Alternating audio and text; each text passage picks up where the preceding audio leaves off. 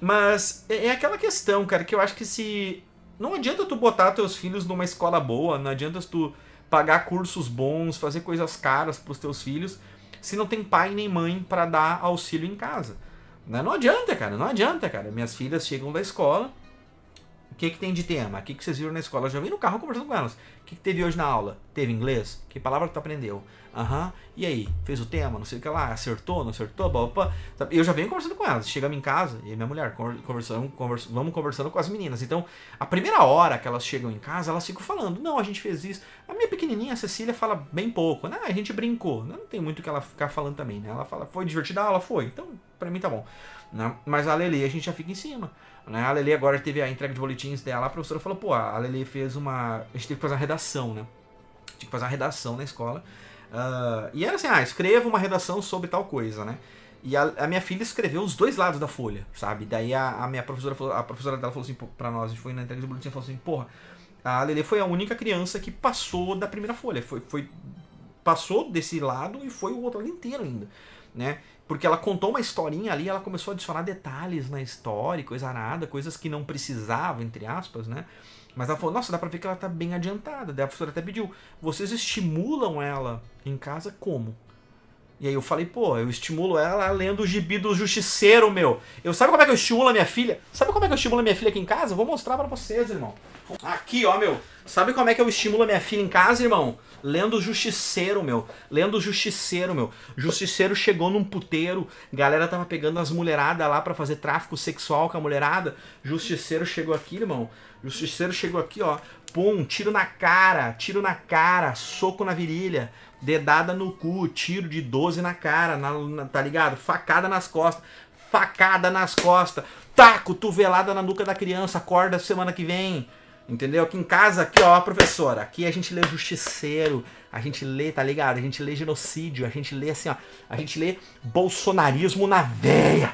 Hum, hum. Pô, na verdade, na verdade a minha filha lê Pateta, Mickey, Minnie, a Turma da Mônica. Aqui, ó. O Patinho. O Patinho fez Quaquá. Esse aqui ela já leu, esse aqui ela já leu, esse aqui ela já leu. Pô, eu comprei vários desses. Quando a minha, minha filha tava na, na, barriga da mãe dela ainda, eu comprei esses, esses gibis aqui, ó. E a professora pediu agora, sem, sem brincadeira, a professora pediu e eu falei assim, não, a gente estimula ela em casa, ela lê gibis, né? Ela lê gibis. Depois eu falo assim, oh, Lele, lê essa história.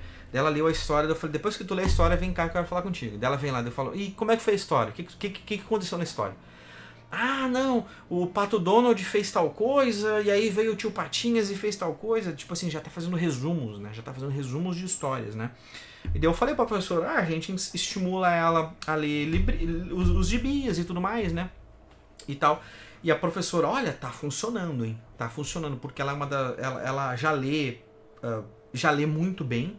Né? Ela já lê os textos muito bem, ela já escreve as redações muito bem, ela tá bem avançada. Cara, e porra, eu fiquei muito feliz, né? Eu não sei se essas porra de escola também falam isso para todos os pais, os pais continuar pagando um pau e meio de, de prestação, tá ligado, né? Pra não, não tire teus filhos daqui, a sua filha é especial, entendeu? Mas isso é uma das coisas que a gente sente em casa porque a gente estimula ela a ler, a gente estimula ela a fazer os desenhos, a gente estimula ela a fazer os negócios de colorir, entendeu? Tipo, porra, tem aniversário de um coleguinha, ela sempre faz um cartãozinho pro coleguinha. Cara, menina é um negócio punk, cara. Sempre demonstrando amor, sempre demonstrando carinho. É um negócio muito, cara, é um negócio realmente muito legal, né? Então tenho vários desses gibis aqui da, da editora Abril que eu comprei na banca aqui perto de casa. Eu comprei uh, vários desses. Agora, acho que eu não sei se ela tá lendo do tio Patinhas, ou qual que ela tá lendo agora. Mas ela pega isso aqui, cara. Assim, esses dias eu dei um do tio Patinhas pra ela. A primeira vez que ela pegou do, do Pato Donald era. Um azulzinho. Cara, ela leu mais de 100 páginas. De, eu, eu sei, é gibi, né? Tu lê bem mais rápido do, do, que o normal, né? Do que um livro, né? Mas eu fiquei apavorado porque eu entreguei para ela o gibi, sei lá, oito e pouco. Ela foi pra cama deitar, a gente foi dormir meia-noite, sei lá. Tava lá lendo ainda, assim. Eu, amor, tá na hora de dormir, vai lá. Da, da, era meia-noite e pouco, ela já tava lendo ainda. Fiquei muito feliz, tá ligado?